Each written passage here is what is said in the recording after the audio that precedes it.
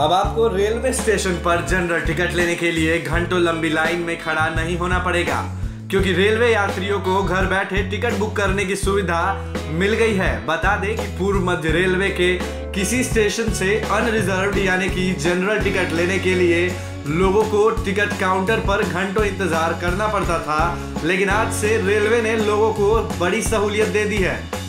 East central railway प्रशासन आज से यात्री सुविधाओं को बढ़ाते हुए मोबाइल ऐप से जनरल टिकट बुकिंग की सुविधा मुहैया कराने जा रहा है। जिसके बाद रेलवे यात्री यूटीएस ऑन मोबाइल ऐप के ज़रिए पूर्व मध्य रेलवे के किसी भी स्टेशन के लिए टिकट बुक कर सकते हैं। आपको बता दें कि इसके लिए रेलवे यात्रियों को अपने स्मार्टफ़ोन पर UTS on mobile app install करना होगा।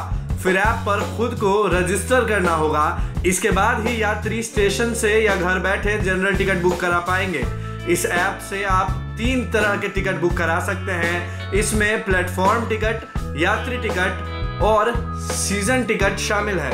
अगर आप ऐप से जनरल टिकट बुक करते हैं तो टिकट जारी होने के तीन घंटे के अंदर यात्रा शुरू करनी होगी। वरना टिकट अवैध माना जाएगा, वहीं इसे बुक करते हुए प्लेटफॉर्म टिकट की टाइमिंग दो घंटे की होगी।